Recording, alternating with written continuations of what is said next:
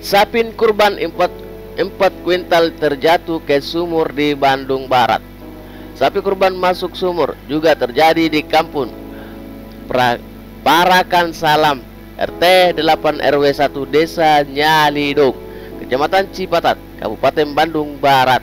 Sapi seberat 4 kuintal itu terjatuh ke sumur dengan kedalaman 15 meter saat akan disembeli.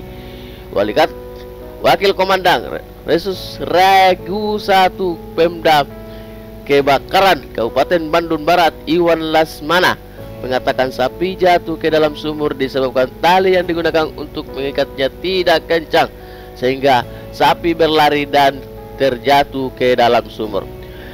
Menurut pemilik bernama Pak Dedi ketika hendak dipotong ada kelel kelalaian talinya kurang kencang sehingga sapi tersebut berlari ke arah sumur dengan kedalaman 15 meter. Kata dia melalui pesan singkat Rabu 22 bulan 8 2018.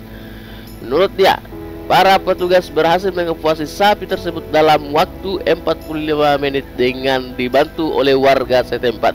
Setelah dievakuasi, sapi tersebut dalam keadaan pingsan, sapi jantungnya masih berdetak.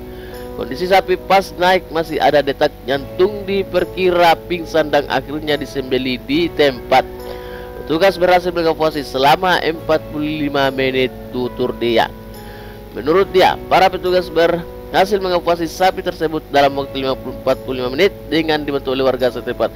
Setelah dievakuasi, sapi tersebut dalam keadaan pingsan tapi jatuhnya masih berdetak. Kondisi sapi pas naik masih ada detak jantung diperkirakan pingsan dan akhirnya disembeli tempat petugas berhasil evakuasi selama 45 menit. Tutur dia.